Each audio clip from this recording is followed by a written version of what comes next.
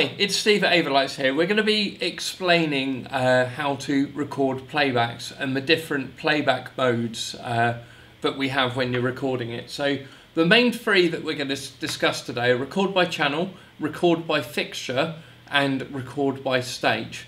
Now we're going to make our first playback and we're, we're going to record this by channel. So if I select my BMFLs and I'm going to locate them and I'm going to put them in that position palette there. I'm going to put them in that colour and I'm going to put them in that gobo.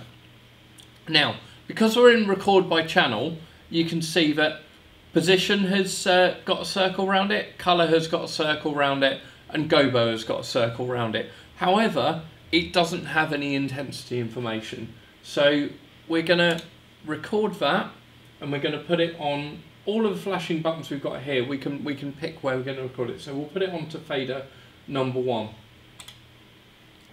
The next cue we're going to do, we're going to do record by fixture. So this records all of the attributes for the fixtures you've got in programmer.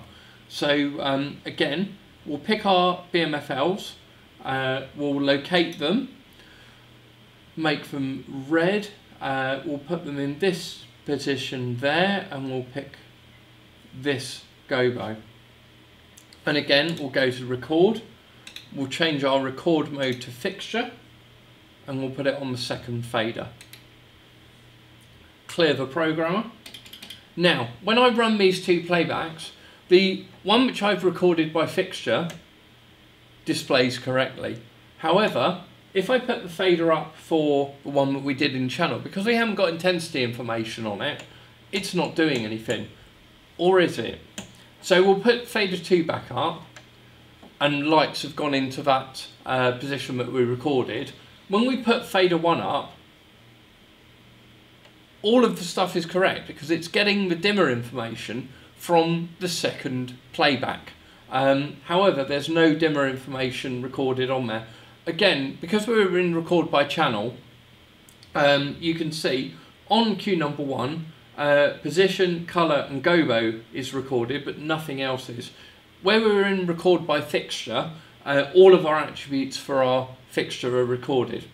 Now, the last one I'm going to do is record by stage. So we'll clear the programmer. Now I'm going to select my uh, some my odd dimmers and I'm going to locate them.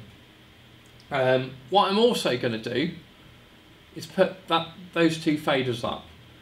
So if I go record and then select record by stage and put it on this fader here and I'm going to clear the programmer. Now we'll put all our faders down, we'll play fader 3 and it's recorded the two faders that I had outputting. Basically record by stage is going to record everything that's going on that's got light coming out of it. So those are the three record, record modes that you can get on Titan. They all have their individual uses um, and it's probably worth exploring what's best for you.